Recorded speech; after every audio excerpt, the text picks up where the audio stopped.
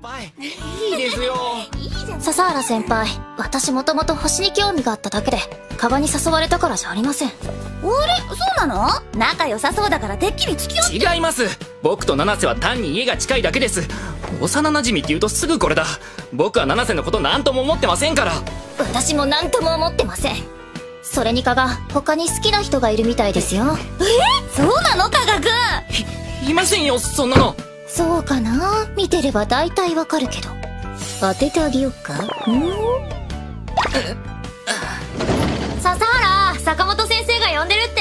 ああいいとこだったのに。後で続き聞かせてね。やっぱ笹原先輩なんだ。加賀が星なんかに興味持つなんてありえないし先輩目当てでしょだから違うって。大体七瀬には関係ないだろ。なんでそんなことばかり聞くんだよ。早く振られてほしいから。えなんでだよ。僕なんかした？中学に入ってから私のこと無視するようになった。周りにからかわれるからってさ。だって七瀬も嫌だろ。変に仲いいとか思われたら。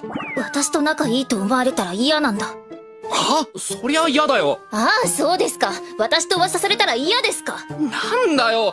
こっちは七瀬のために気を使ったんだろ。何が七瀬のためよ。急に私のこと無視してさ。七瀬だって僕のこと嫌ってたじゃないか。先に嫌ったのは加賀の方だった。どっちでもいいだろ。お互い嫌いなんだから。嫌いだったら同じ学校なんか通わないよ。は？何言ってんのかわかんないんだけど。バカ加賀まだわかんないの？他のことは普通に話すのに。私だけ無視してさ。ちそうじゃなくて。それでも他人には無関心だから誰にも興味なんか持たないって思ってたのに。ちょっと落ち着けよ。なんで？笹原先輩なの？もう分かったよ。ごめん。僕が悪かった。七瀬の気持ち考えてなかったよ。ずっと僕のこと心配してくれてたんでしょ？そのつまり幼馴染だから。幼馴染だから何？何にも分かってないじゃん。本えだって。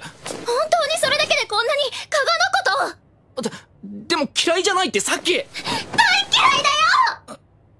け結局嫌いなのかよ。じゃあ天文部に入ったのも結局嫌がらせ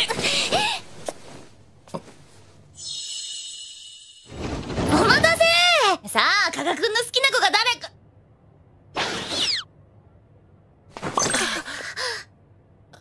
ごめん。